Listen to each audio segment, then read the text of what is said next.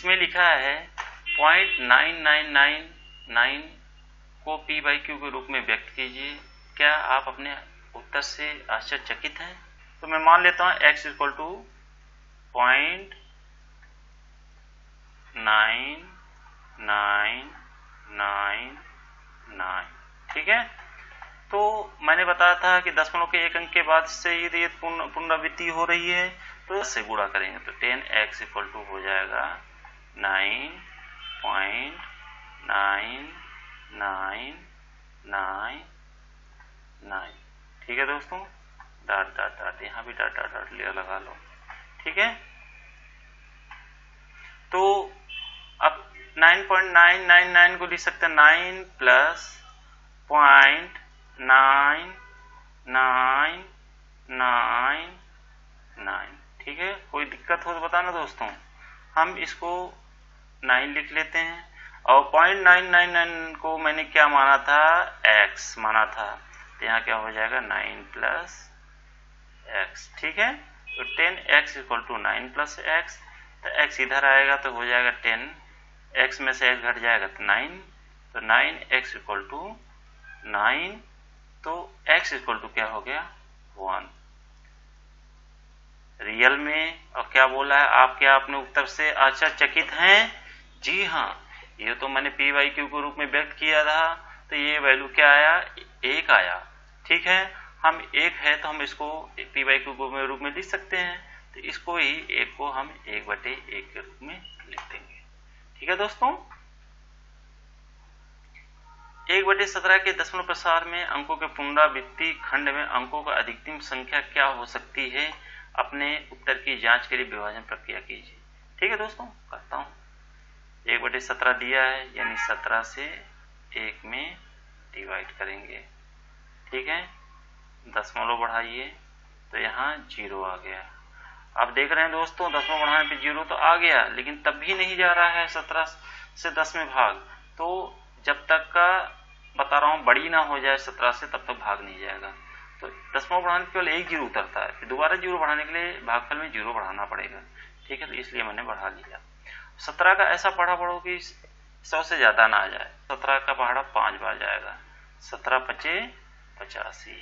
Okay दोस्तों, वो नीचे क्या आएगा? पंद्रह। ठीक है? अब क्या है कि एक ज़ीरो बढ़ा सकते हैं। आप सत्रह का ऐसा पढ़ा पढ़ो कि 150 से ज़्यादा ना जाए तो आठ बार जाएगा। सत्रह अट्ठे, एक सौ छत्तीस। ठीक है दोस्तों? अब नीचे आ गया चौदह। अब सत्रह का ऐसा पढ़ा पढ़ो कि 140 से ज़्यादा ना जाए, सत्रह अट्ठे एक सौ छत्तीस होता है, फिर सत्रह अट्ठे एक सौ छत्तीस। ठीक है दोस्तों? नीचे कितना आ गया? अब चार आ गया। अब सत्रह का ऐसा पढ़ा पढ़ो कि चालीस से ज़्यादा ना जाए तो सत्रह दूना चौतीस। ठीक है दोस्तों? अब कितना आ गया? छ आ गया। ठीक है? सत्रह से अब एक ज़ीरो बढ़ा लो। सत्रह का ऐसा पढ़ा पढ़ो कि साठ से ज़्यादा ना जाए तो सत्रह तरीक इक्यावन। ओके दोस्तों? अब क्या आ गया? नौ आ गया, फिर ज़ीरो बढ़ जाएगा। सत्रह का ऐसा पढ़ा पढ़ो कि 90 से ज़्यादा ना जाए तो 17 पचे पचासी। पाँच सत्रह का ऐसा पढ़ा पढ़ोगी पचास से ज़्यादा ना जाए तो हम लिख सकते हैं सत्रह दूना चौतीस। अब क्या आ गया? सोलह आ गया। ठीक है? फिर सत्रह का ऐसा पढ़ो एक सौ साढ़े ज़्यादा ना जाए तो सत्रह नौया एक सौ तिरपन। ठीक है? अब आ गया कितना? सात आ गया। ठीक है दोस्तों?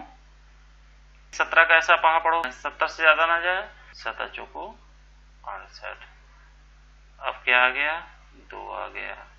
ज़ीरो जाएगा। तो सत्रह का ऐसा पढ़ा पढ़ो, बीस से ज़्यादा ना जाए तो सत्रह इकन्नम सत्रह। ओके दोस्तों, अब आ गया, तीन आ गया। ठीक है, सत्रह का ऐसा पढ़ा पढ़ो कि तीस से ज़्यादा ना जाए तो सत्रह इक्यानम सत्रह। अब कितना आ गया?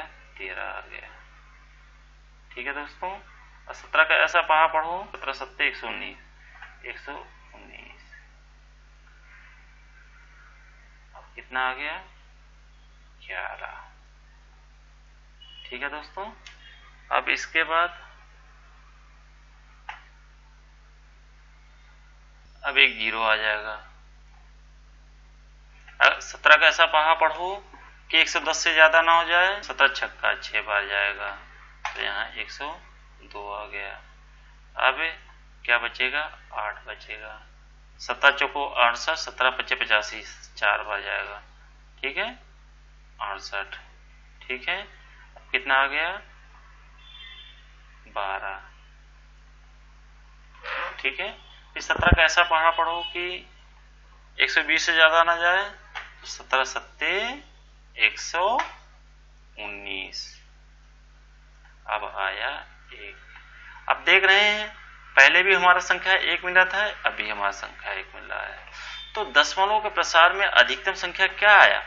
एक, दो, तीन, चार, पाँच छ सात, आठ, नौ, दस, ग्यारह, बारह, तेरह, चौदह, पंद्रह, सोलह। तो दशमलव के प्रसार में अधिकतम जो संख्या आ रहा है, सोलह आ रहा है। दशमलव के प्रसार में अधिकतम संख्या सोलह। सोलह तक जाएगा सोलह बार तक। इसका अधिकतम संख्या होगी। ठीक है दोस्तों?